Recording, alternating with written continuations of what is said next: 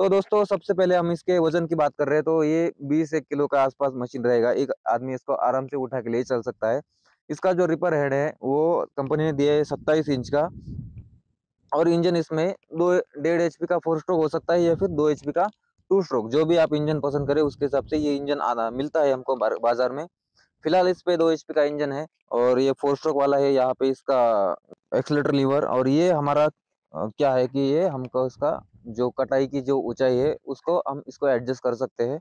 और ये पूरा कटाई का हेड है और इसको ये जो ढीला कर दिया तो हम इसका हैंडल ऐसे ऊपर नीचे होता है। तो मेरी हाइट से मैंने इसको एडजस्ट कराया है।